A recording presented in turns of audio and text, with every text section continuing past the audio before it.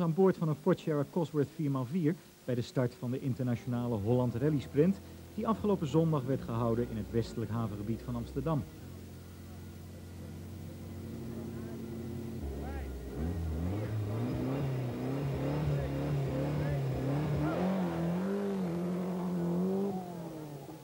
Deze Sierra cockpit is het domein van Ger van Krimpen en Peter Schouten. Niet met het startnummer 1 van de favoriet, maar toch behoort deze equipe tot de belangrijkste kanshebbers voor de eindoverwinning. Uh, we zouden moeten winnen als, uh, als de wagen en de, de, de kwaliteiten van de chauffeur dan uh, gelijkwaardig aan de wagen leggen, zouden we moeten kunnen winnen. Dit is geen vierpersoonsbolide, zoals u ziet, maar wel een van de auto's met twee inschrijvingen. Als nummer 86 rijdt Nico Biesheuvel met navigator Etienne Struis. En onder 6 start hij met diens vader Wim Struis.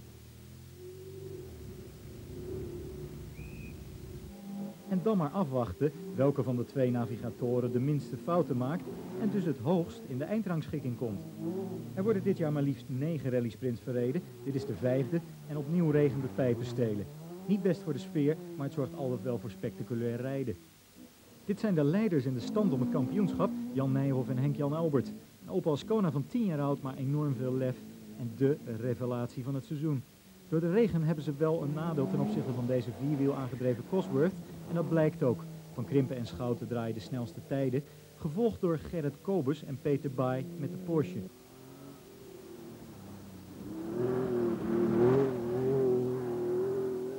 toch weer die Kobus die met de 911 al tweemaal kampioen werd.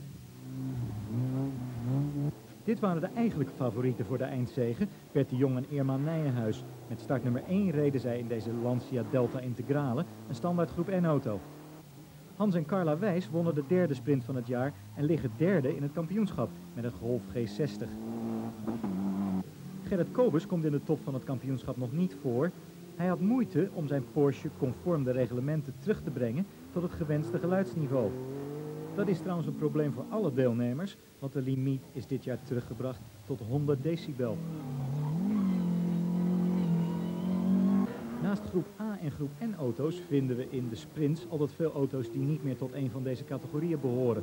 Het zijn de groep H auto's, de zogenaamde hobbycars. Dit is zo'n hobbycar, de Renault 5 Turbo van Erik de Jonge en hij ligt in het kampioenschap op een tweede plaats. Deze Sierra behoort zeker niet tot de hobbycars. De prachtige groep A-auto zou het in een internationaal veld rallyauto's ook goed moeten doen. Schouten en Van Krimpen lachen zich dan ook suf, ondanks de regen. Aan concurrent Biesheuvel vroegen we hoe het met hem ging. Gaat uh, redelijk. De eerste klasse mensgroep uh, was een beetje matig omdat we de verkeerde banden eronder hadden zitten. De tweede ging uitstekend. We draaiden weer een goede tijd. En nu zijn we voor de tweede keer aan deze proef eh, begonnen. Dus eh, ik heb nu hoogstwaarschijnlijk toch de goede banden nou. Banden blijft altijd een moeilijke keus voor een rally, maar ook de afstelling van de schokbrekers. Daar stuiten de Theo van den Berg en Wouter Graaf op weg naar een vijfde plaats. Maar ze waren bepaald niet de enige die er moeite mee hadden. Wat dacht u van de heren Dubbeldam en Kattenstaart? Zo stuit dus een Escort RS 2000 en dan nu een Opel Manta, die van de heren Vrijhoeven en Mulder. In de uitslag geen hoge klassering voor Hans Wijs en ook Nico Biesheuvel viel met pech terug. Bert Jong klom op naar een vierde plek met de Lancia en Kobus werd derde met de Porsche. Om de eerste plaats werd het nog een gevecht tussen nummer 8 van Krimpen en Schouten en nummer 88 van Krimpen en Schouten. Want ook zij hadden twee keer ingeschreven en gingen met twee bekers naar huis.